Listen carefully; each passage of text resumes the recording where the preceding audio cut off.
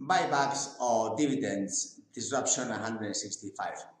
This very interesting to see how Apple bought back 400 billion in shares. I gave the figures of um, Google,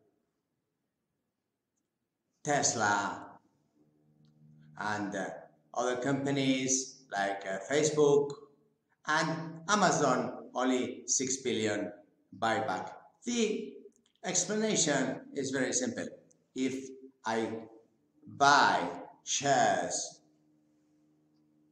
of our company, your company, my company, if we have 110 shares and uh, the company buys 10 shares, then your 50% is not now 55 shares.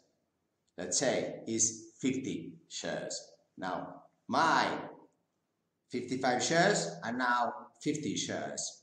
So, for the same profit that Apple, Google, Tesla, Facebook, Amazon have, or all the European companies, which I recommend not to invest because the euro is going to fall.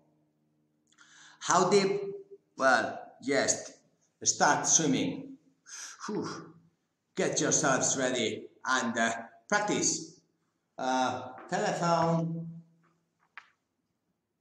Can you stop breathing three minutes? Yeah, start practicing. I can now and then. Therefore, if you're a company, can you?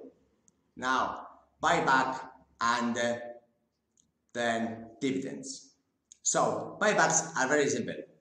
I mean, yeah, we have more returns in our shares without increasing the profit because the shares are less. Now, dividends. We cannot get any dividends because dividends are taxed. How much? 52%, 60%, depends in the bracket. So please, do not have dividends. And that is a big problem because workers deserve to have a percentage of dividends so that they grow in Europe companies, but they cannot because they get taxed. You see? So that's another reason why you shouldn't invest in Europe. Just invest in USA. And meanwhile, never, ever give any dividends. Just buybacks.